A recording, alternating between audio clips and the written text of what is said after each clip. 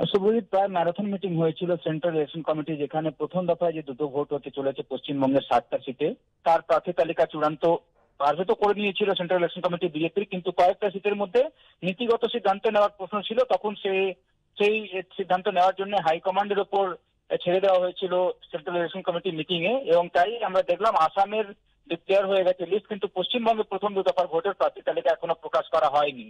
আজকে এই মুহূর্তে যখন আমরা কথা বলছি সত্য মতো আমি খবর পাচ্ছি কি অমিত শাহ এসছেন বিজেপি সদর দপ্তরে, সেখানে জেপি নাড্ডার সঙ্গে তার বৈঠক হয়েছে এবং তারপর চূড়ান্ত তারা ফাইনাল টাচেসগুলো দিচ্ছেন, যে পলিসি ডিসিশনগুলো নেওয়ার কথা ছিল, সেটা তারা চূড়ান্ত করছেন এবং জানানো হয়েছে কি আজকেই খুব সম্ভবত তারা প্রার্থী তালিকা ঘোষণা করে দেবেন। আজকে রাত্রিরে সে প্রার্থী তালিকা প্রকাশ করে দেওয়া হবে। চারটা সিটের, সব সিটে প্রার্থী তালিকা তারা আজকে অ্যানাউন্স করে দেবেন। পশ্চিমবঙ্গে ফার্স্ট ফেজ এবং সেকেন্ড ফেজে যে ভোট রয়েছে এবং নন্দীগ্রাম নিয়ে যে এত প্রশ্ন ছিল কি শুভেন্দু অধিকারী সেখান থেকে প্রার্থী হবেন কি হবেন না সেটা যেটা আমি জানতে পেরেছি। শুভেন্দু অধিকারী নন্দীগ্রাম থেকে প্রার্থী হচ্ছেন এবং তার নাম আজকেই ঘোষণা করে দেওয়া হবে। যখন চারটা সিটের প্রার্থী তালিকা ঘোষণা করা হবে তার মধ্যে নন্দীগ্রাম থেকে শুভেন্দু অধিকারীরও নাম থাকবে।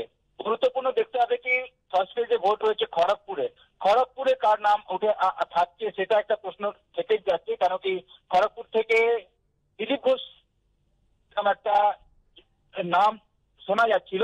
এবং যখন প্রথম তালিকা এসেছিল, সেটাতে তার নাম সেখানে ছিল এবং অনেকে চাইছেন সেখানে তাকে প্রার্থী করতে কিন্তু যেহেতু তিনি রাজ্য সভাপতি, তার, তাকে পুরো রাজ্য জুড়ে ক্যাম্পেইন করতে হবে, তো তিনি সেখানে প্রার্থী হবেন কি হবেন না, সেটাও একটা নীতিগত সিদ্ধান্ত নেওয়ার ছিল বিজেপির সেটাও স্পষ্ট হয়ে যাবে যখন আজকে প্রার্থী তালিকা, আর আমরা আশা করছি রাত্রিরে হয়তো আজকে প্রকাশ করে দেওয়া হবে এবং সেটাতে আরও স্পষ্ট হয়ে যাব আমরা কি খড়গপুর থেকে দিলীপ ঘোষ প্রার্থী হচ্ছেন কি হচ্ছেন না, তবে নন্দীগ্রাম থেকে শুভেন্দু অধিকারীকে প্রার্থী করছে বিজেপি এবং সেই তালিকা আজকে প্রকাশ করে দেওয়া হবে।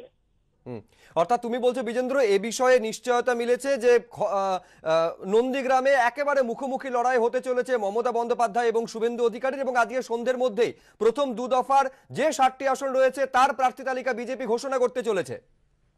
হ্যাঁ হ্যাঁ শুভজিৎ, কেন কি প্রথম যে সেন্ট্রাল ইলেকশন কমিটি মিটিং হয়েছিল বিজেপির, প্রায় পাঁচ ঘণ্টা প্রধানমন্ত্রী নরেন্দ্র মোদীও ছিলেন বিজেপি সদর দপ্তরে। সেখানে প্রথমেই আসামের যে প্রার্থী তালিকা রয়েছে ফার্স্ট এবং সেকেন্ড ফেজে তারা চূড়ান্ত করেছিলেন এবং তারপর পশ্চিমবঙ্গ নিয়ে বৈঠক হয়েছিল।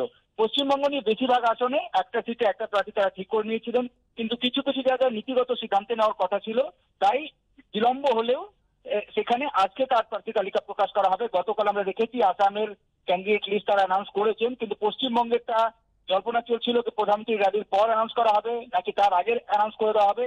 এই মুহূর্তে যা সূত্র মারফত খবর পাওয়া যাচ্ছে কি অমিত শাহ বিজেপি সদর দপ্তরে এসেছেন, সেখানে জেপি নাড্ডা রয়েছেন এবং তাদের মধ্যে একটা মিটিং হয়েছে। যে পলিসি ডিসিশনটা নেওয়ার কথা ছিল, সেটা তারা ইতিমধ্যেই ক্লিয়ার করে দিয়েছেন এবং সেই অনুযায়ী যে প্রার্থী তালিকা রয়েছে, সেটা আজকেই অ্যানাউন্স করে দেওয়া হবে। বিজেপি সূত্র থেকে এটা জানা যাচ্ছে, তবে নন্দীগ্রাম থেকে শুভেন্দু অধিকারী প্রার্থী হচ্ছেন, সেটা স্পষ্ট হয়ে গেছে, সেটা তিনি সেখান থেকে প্রার্থী হবেন, তারই নাম সেখান থেকে ঘোষণা করা হবে। তবে খড়গপুর থেকে কি দিলীপ ঘোষ প্রার্থী হয়েছিল, সেটা দেখতে হবে, কারণ দিলীপ ঘোষের নাম যে প্রাথমিক যে তালিকা ছিল, সেটাতে ছিল। কিন্তু যেহেতু তুমি রাজ্য সভাপতি, তাকে পুরো স্টেট জুড়ে ক্যাম্পেইন করতে হবে। সেক্ষেত্রে একটা প্রশ্ন ছিল কি, তাকে প্রার্থী করা হবে কি, হবে না? সেটা হাইকমান্ডের উপর ছেড়ে দেওয়া হয়েছিল শীর্ষ নেতৃত্ব চূড়ান্ত সেটা সিদ্ধান্ত নেবেন। সেটাও আমরা স্পষ্ট হবে যখন চূড়ান্ত প্রার্থী তালিকা আজকে প্রকাশ করা হবে বিজেপি তরফ। থেকে। বিজেন্দ্র, তুমি আমাদের সঙ্গে থাকো, আমরা দেখাচ্ছি নন্দীগ্রামের ছবি। যদিও আনুষ্ঠানিকভাবে প্রার্থী তালিকা এখনও ঘোষণা হয়নি, কিন্তু নন্দীগ্রামে বিজেপি প্রার্থী শুভেন্দু অধিকারী এইভাবে দেওয়াল লিখন শুরু হয়ে গেছে। আমাদের প্রতিনিধি বিজেন্দ্র সিংহ জানাচ্ছেন যে, শুভেন্দু অধিকারী নন্দীগ্রাম থেকে প্রতিদ্বন্দ্বিতা করবেন, এটা এক প্রকার নিশ্চিত। তবে খড়গপুর থেকে দিলীপ ঘোষের নাম আসবে কিনা, দিলীপ ঘোষ এই বিধানসভা নির্বাচনে প্রতিদ্বন্দ্বিতা করবেন কিনা, সে বিষয়ে এখনও সংশয় রয়েছে। আপনাদের মনে থাকবে, কয়েকদিন আগে কৈলাস বিজয়বর্গীয়কে এই প্রশ্ন করা হলে কৈলাস বিজয়বর্গীয় বলেছিলেন, দিলীপ ঘোষ প্রতিদ্বন্দ্বিতা করতেই পারেন, তবে পুরো ছবিটা আজকে সন্ধ্যের পর পরিষ্কার হয়ে যাবে, কারণ দু দফার, প্রথম দু দফার যে ষাটটি আসন, তার প্রার্থী তালিকা আজকে ঘোষণা করতে চলেছে বিজেপি।